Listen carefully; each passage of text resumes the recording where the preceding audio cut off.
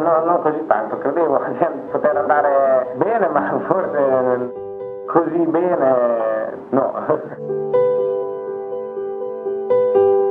Quando vinci ti adorano un po' tutti, poi quando, quando vai male te ne sono molti di meno. È una cosa un po' brutta a livello umano, però alla fine è così che vanno, che vanno le cose. Un mio amico e nel nostro sport penso che sia il riferimento, secondo me il numero uno è lui.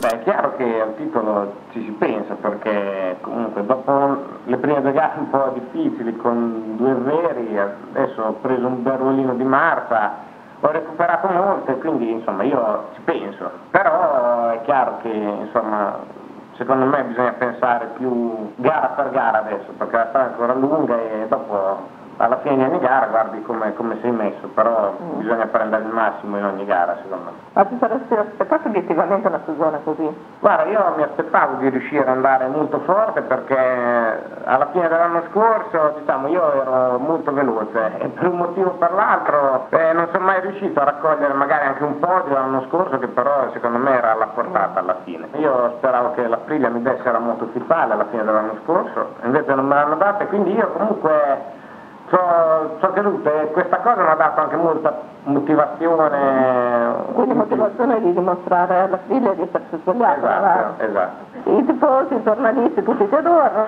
Diciamo che sì, poi quando vinci ti adorano un po' tutti, poi quando, quando vai male te ne sono molti di meno. Che se ne fregano. Sì, per non dire nessuno. E questa non è una, co- cioè una cosa un po' brutta a livello umano, però alla fine è così che vanno, che vanno le cose. È un fast club ufficiale? No, no.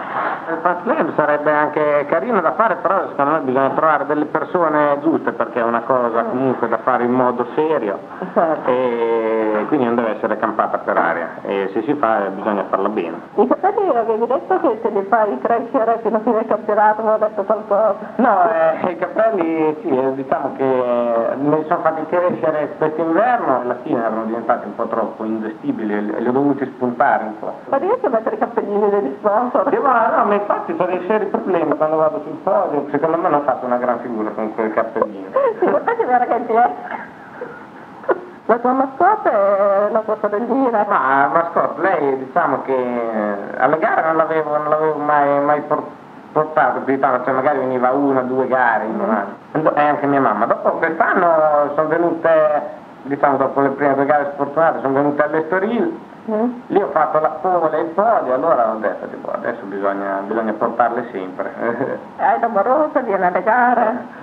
Sì, ho, ho l'amorosa da, da un anno e mezzo ormai, quest'anno è venuta al Mugello e ho vinto, allora ho detto tipo, adesso vieni anche a Barcellona e ho vinto, ho vinto anche lì. Tra poco sarà il derby per il, il titolo mondiale, derby diciamo rizzonese tra te e Pasini. Spero di vincerlo io.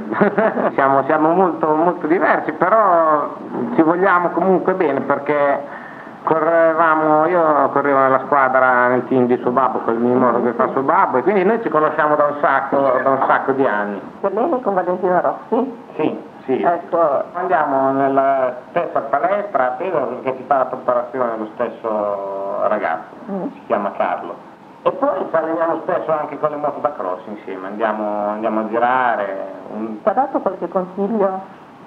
Ma guarda, consigli ogni tanto se ho bisogno glieli chiedo, lui, lui me, li dà, me li dà sempre, io non ne faccio tesoro insomma. I tuoi detrattori dicono che lo vuoi un po' imitare a livello Sì, a me un po' mi dà, mi dà fastidio perché, perché insomma non è, non è, vero, solo perché, non lo so, perché abbiamo i capelli uguali o parliamo simili, ma magari eh, caratterialmente siamo anche un po' simili perché comunque andiamo, andiamo d'accordo. Ed è chiaro che se posso imparare qualcosa da lui lo imparo, però io insomma lui è un mio amico, andiamo, andiamo d'accordo e e se siamo simili non è di sicuro perché lo voglio, lo voglio imitare. E, e, quindi poi io alla fine so che lui è, è, un mio amico e nel nostro sport penso che sia il riferimento perché cioè, quindi è chiaro che uno a livello di risultati così voglia, lo voglia imitare. Secondo me il numero uno è lui.